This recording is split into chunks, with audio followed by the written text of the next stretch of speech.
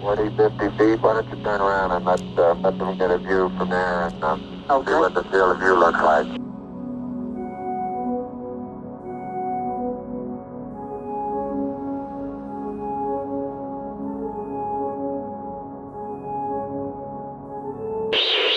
Climate change. Climate change. Climate change. Climate change. Climate change. The Earth is suffering a crisis of mass extinction. And the results will be catastrophic.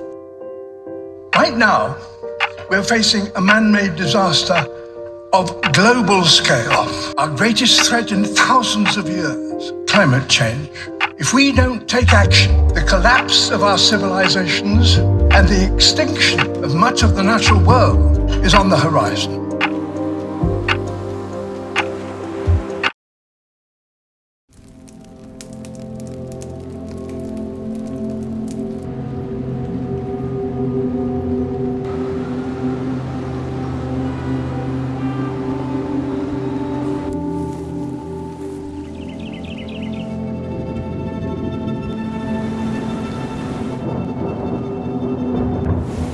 Climate change has quickly become one of the most pressing and complex global issues of our time.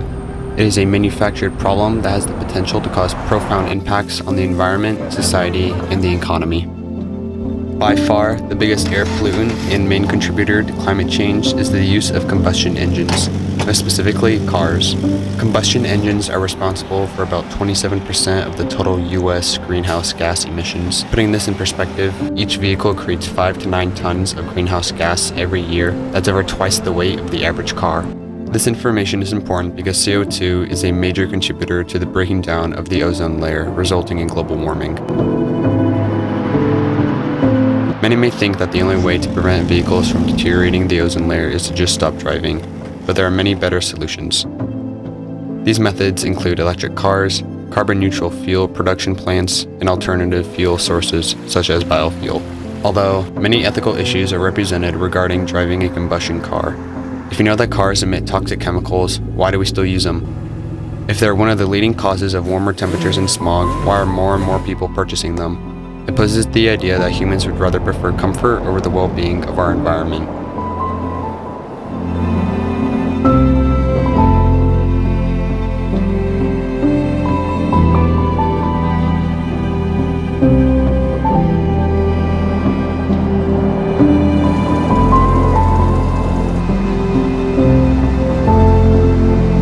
Just from electricity generation, where 31% of carbon dioxide emissions are created.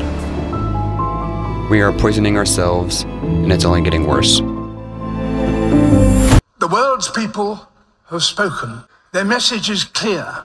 Time is running out.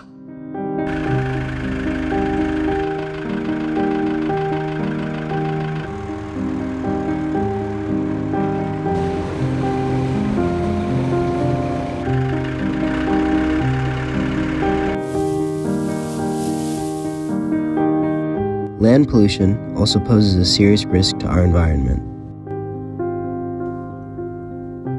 Land pollution also causes soil erosion, which is caused by harmful agricultural practices such as overusing soil, toxic chemicals, and introducing invasive species.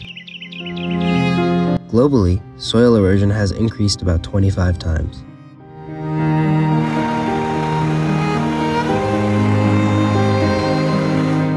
With the impacts of climate change, more artificial items are being used to produce a large crop yield.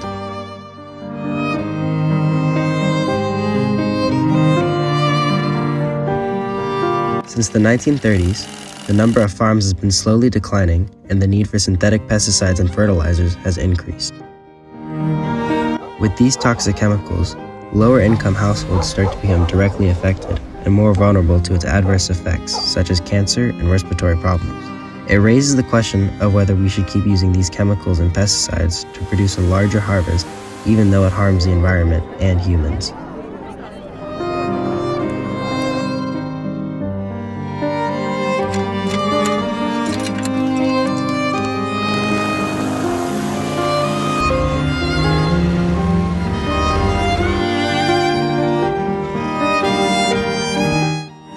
Of this rapidly developing climate change, usable farmland will start to diminish, posing a serious threat to the environment and us.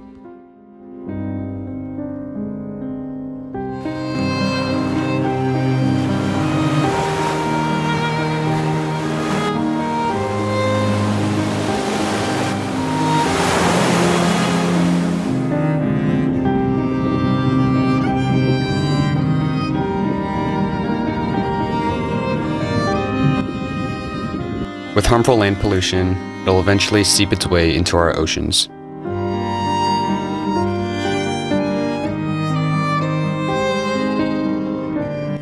Billions of pounds of trash and other pollutants enter the ocean each year.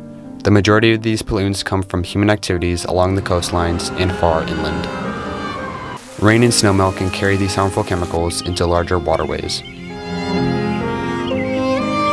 Coming from many different sources such as cattle farms, vehicles, sewage treatment plants, and cities, this form of pollution, unfortunately, has immense negative effects on the environment, which in turns can negatively affect us as well. Although, it can become difficult for people to fully understand the challenges and problems that are presented regarding ocean pollution because they don't directly see it or experience it. Microplastics, which are found in the environment as a result of the disposal of consumer goods and industrial waste, are incredibly minute bits of plastic. These plastics pose a serious threat to aquatic life because fish and other marine animals often mistake them for food and consume them. These plastics can also enter our bloodstream through the consumption of seafood.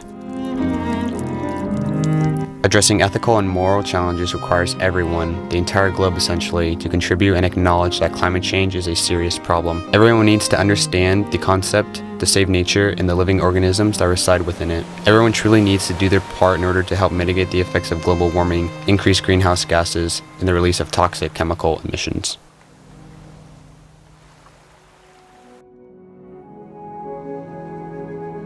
We are the ones who are going to make a difference, but it's not going to happen overnight. It's going to be difficult and a time consuming process, but will benefit the overall health of our planet and the human race.